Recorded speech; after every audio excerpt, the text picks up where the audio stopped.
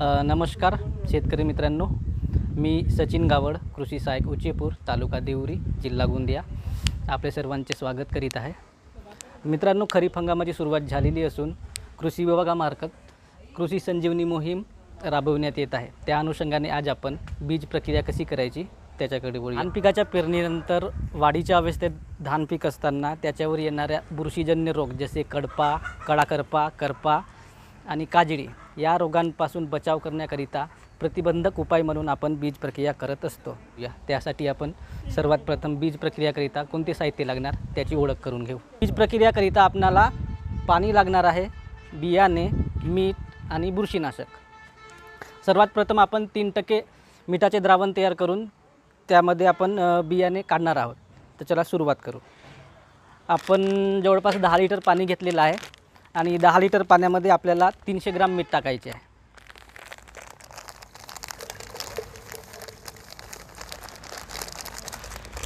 तर चांगल्या प्रकारे ढवळून घ्या जेणेकरून पाण्याची घनता वाढेल व हलके बियाणे वर येतील.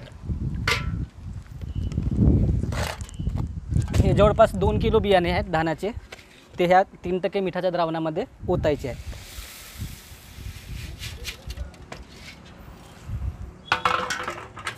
बी ओतून झाल्यावर चांगल्या प्रकारे ढवळून घ्या.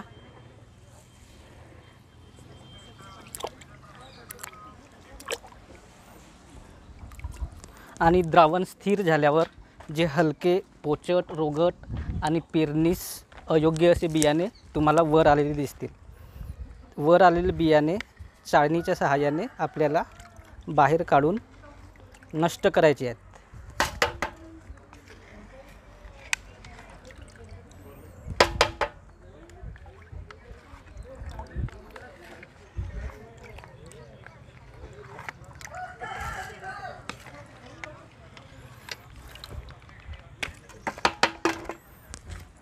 वरचे तरंगणारे निरुपयोगी बियाणे आपण बाहेर काढलेले आहोत. आता तळाशी आपल्याला एकदम जड आणि पेरणीस योग्य असे बियाणे मिळालेले आहेत. ते बियाणे आपल्याला दोन ते तीन वेळा स्वच्छ पाण्याने धुवून घ्यायचे आहेत.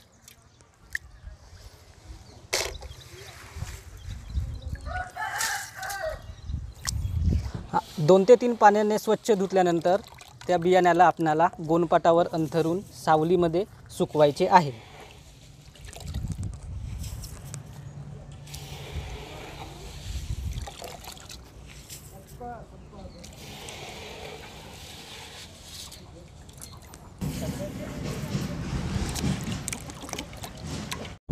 बियाणे सावलीत सुकवून झाल्यानंतर आता आपल्याला त्यास बुरशीनाशकाची प्रक्रिया करायची आहे. बुरशीनाशक म्हणजे आपण स थायरम घेतलेला आहे. थायरमऐवजी आपण बावीस टीन कॅप्टन सी ओ सी यापैकी कोणताही बुरशीनाशक आपण वापरू शकतो. त्याची मात्रा प्रति किलोला अडीच ग्राम अशी आहे.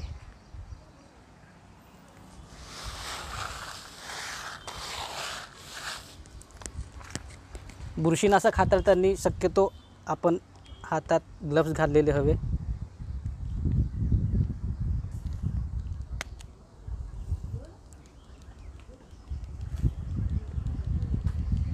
हे अडीच ते तीन ग्राम आहे थायरम.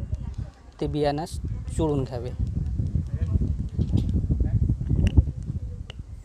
हलक्या हाताने.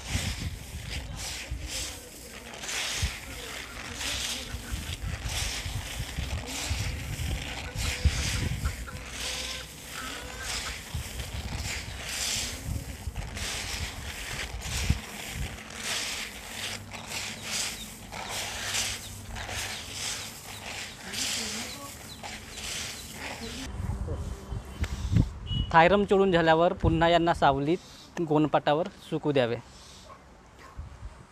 आपल्याकडे अझोटोबॅक्टर आहे जीवाणू संवर्धन याची पण बीज प्रक्रिया करायची असल्यास ही बीज प्रक्रिया झाल्यावर चोवीस तासानंतर जेव्हा आपण पेरणीला जाऊ त्यावेळेस याची बीज प्रक्रिया करायची. तर शेतकरी मित्रांनो आपण बाजारातून घेऊन आणलेले बियाणे असोत किंवा आपण घरचे बियाणे असोत पण पेरणी करायच्या अगोदर बीज प्रक्रिया करूनच पेरणी करा. यात तुमच्या उत्पन्नात उत्पादनात नक्की भर पडेल.